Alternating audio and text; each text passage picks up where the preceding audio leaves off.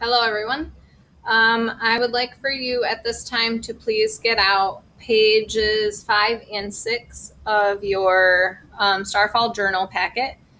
We're going to do this one together today. Um, so at the very top of your paper, it says name. It would be a great idea for you to put that on there. Excuse me. Because as all of you know, that is the very first step we should always be following when we get our paper. Um, we are going to be doing some reading together today and some a little bit of writing. Oh goodness, I am so sorry about this document camera that does this all the time, and I'm not sure how to fix it. If there's any sudden movement, it blinks like that, so please bear with me. Okay, so the directions of this uh, page say circle the word that best completes the sentence, then write the word in the blank. So some of these um, words, uh, I see a couple, a few. Um, some of these words are sight words that we have practiced before. Um, so you might be able to read some of those. And then the other words are ones that we can sound out. So I'm going to have you help me do that today. Here we go. What's this word, boys and girls? It's one of our sight words. The, r, at, rat, is blank. Is is another one of our sight words. The rat is blank. Okay, now the picture here is going to be very helpful in completing this activity because it shows how the rat is feeling. If you look at the picture, you can tell that he's pretty sad. He's crying. Um, so now what we need to do is in these, in this list of words here, we need to find the word sad. Let's uh, look at that first one. add, had. The rat is had. Does that make sense? Nope. How about this one? S, at, sat. The rat is sat. Does that make sense? Nope. Rat, sat, rhyme, but that does not make sense in the sentence. Let's try this last one. S, add sad. The rat is sad. Does that one make sense? Okay, so we're going to go ahead and circle the word sad. And then we're going to write, we're going to copy that word right there. And we're going to write that word um, in the blank spot. So first letter is S, then A, and then D, all lowercase, boys and girls. None of these should be uppercase letters. Okay, now that we have written the word on the blank spot, let's go ahead and read it together and double check and make sure that it makes sense. Here we go. The rat is sad. Does that make sense? You betcha. Good job. All right, here we go. This rat, by the way, his name on Starfall is Zac the rat. So this next sentence, um, the first word is his name. Zac at sat on on a blank. Zac sat on a blank.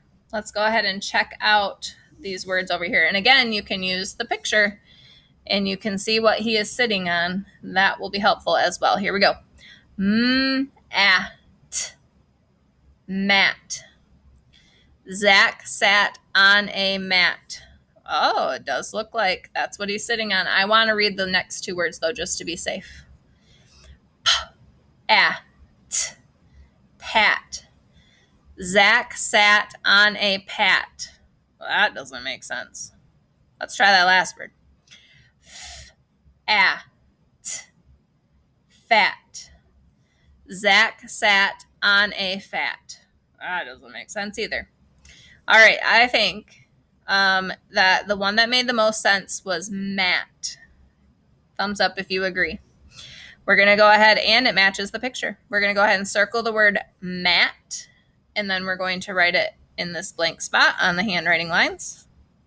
Remember that all of your letters should be lowercase.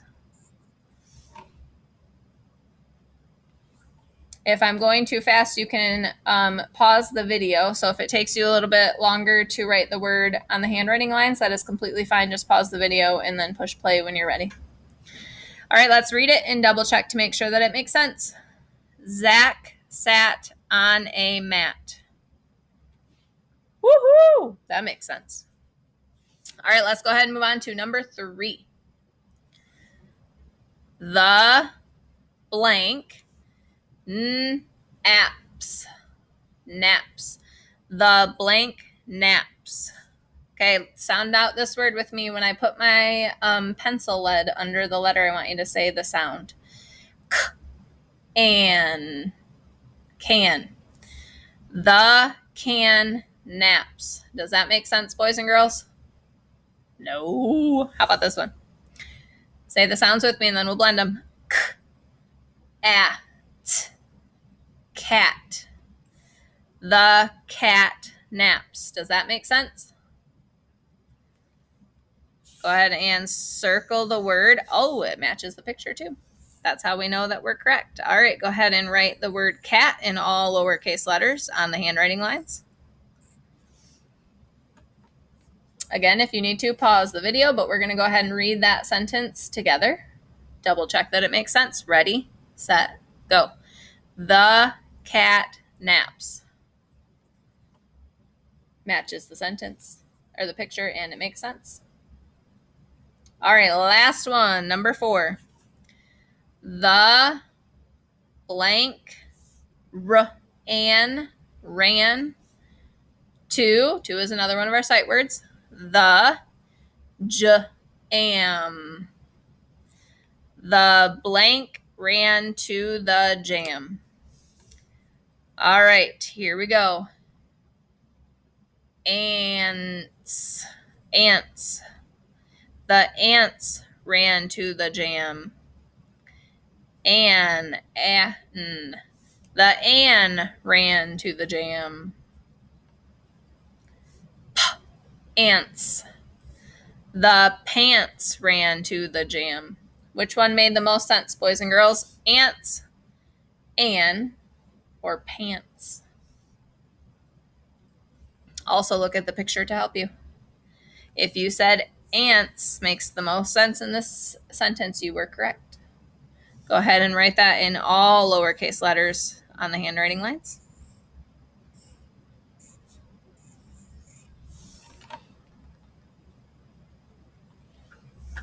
And then we will read that all together. Ready, set, go. The ants ran to the jam. Good. All right, when you flip your paper over, you will be on page six. Um, this one has some things in the picture that um, have the ah sound in the middle. So it says circle the things that have the short a sound. Short a sound is ah. Then write about the picture. Use the word bank to help you. So um, there are some things I'm going to go ahead and read these words, and I want you to go ahead and find those things in the picture and circle them. So say the sounds of the word when I have my pencil lead underneath, and then we'll blend it together. B, at, bat. So go ahead and find and circle the bat, because bat has the ah sound right in the middle. Ah. Here's the next one. J am jam. Now, the jam in the picture has the word on it that matches this right here. Jam. So go ahead and circle the jam. Has the ah sound in the middle. R at rat find Zac the rat and circle him.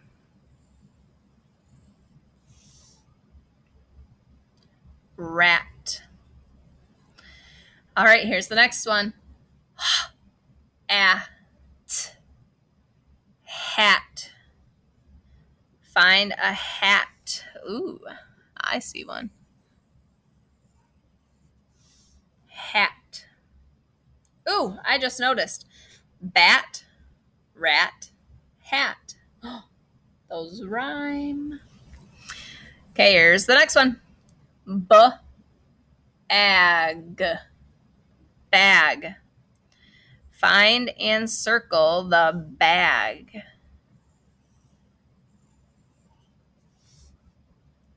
Bag. Has the ah sound in the middle. All right, last one. Ants. Ants. Ooh, looks like they're going towards that picnic basket to get a treat. Go ahead and circle the ants.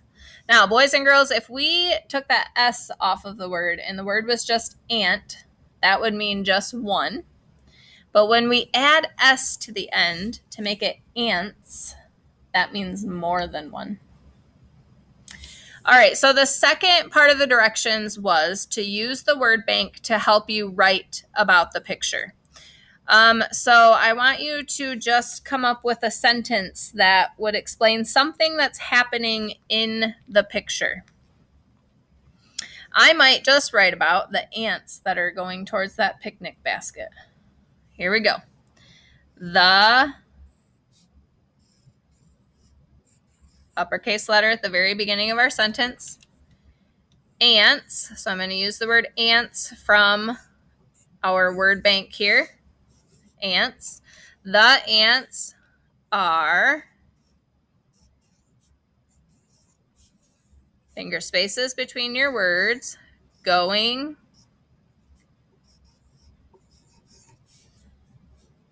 to the picnic p n i k picnic basket b a s k e